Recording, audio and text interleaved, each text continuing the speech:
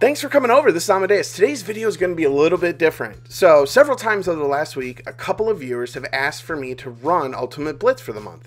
Now, this is going to be the first in a three-part series that covers Ultimate Blitz from normal all the way to legendary.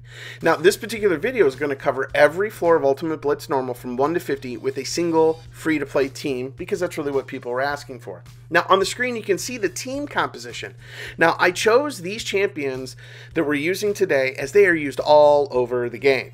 So if you were looking for that one quirky unit that's all so amazing in Ultimate Blitz and nowhere else, this is this is not the video. You're gonna be disappointed. I don't want people to waste their time on units that aren't going to be used elsewhere, which is why you see the units you see on the screen right now.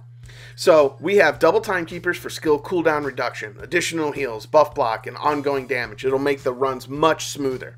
Now, if you don't have double Manas, then you can substitute one with Vimal, which is the Fire Timekeeper. Does everything, plus he'll go ahead and add Cleanse and Strip ability, because you're trading off uh, OGD with him.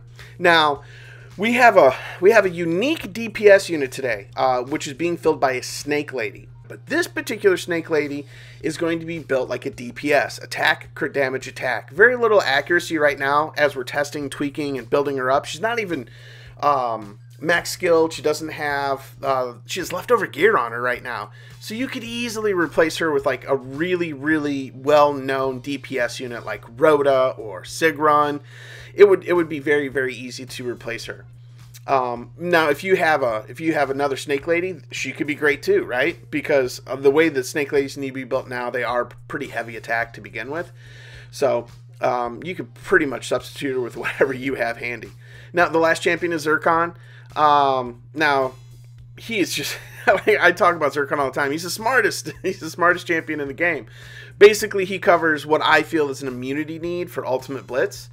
Um, he supports healing with uh, his regeneration buff. More importantly, because we run so much skill cooldown, we're going to be able to double and possibly triple stack that regeneration as well as that immunity. So we're going to really be really going to be safe and secure throughout the entire run with him on our team. Now, you can substitute Archangel in here, um, especially on heavy strip levels, and I'll show it a little bit later on where a uh, good spot to, to switch out because on heavy strip levels, Zircon just gets overwhelmed, even with a uh, high skill cooldown team.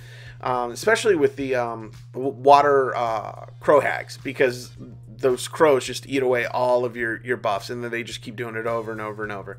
The nice thing about Archangel is he's going to silence some folks, so he's really really good for those particular levels. Um, so we'll throw his gear on here as well, and we'll just put that down here at the end of the video because it's going to be a long video. I already know because I want to make sure that you can just skip to whatever level you want to see to see how we got through it. But basically, we're going to auto our way all the way through um, with the exception maybe one or two levels where we have to switch out. But we'll see. Alrighty, let's go ahead and get started.